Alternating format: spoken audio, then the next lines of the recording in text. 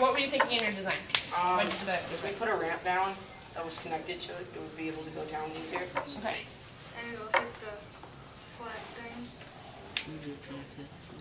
Okay. They went down like a Kick it. millimeter. Okay. I let you. Thank you. Now. Okay, guys, I need everyone to be really quiet. Move your hand. Explain your concept before you do it. I need it silent. Our concept is that there's twine wrapped around the back axle and when, when this drops, it'll, un- it'll unwind and then it'll go forward. And I didn't design anything to go backward, I didn't have time. Yes. It is at rest. Okay, so one, one thing you need, you'll probably need to do is put a lever. Well, we'll talk about it, because eventually you just, will just pull it um, a lever for it to drop. Okay, ready? And,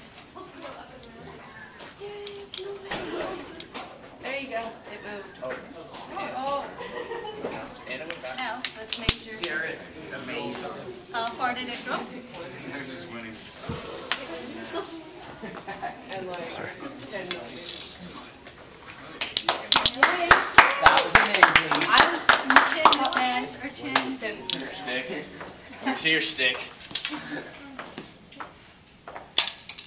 Go, baby. Yes. Move, Abdul. Yeah, technically it works. Josh, I don't want to know. Okay,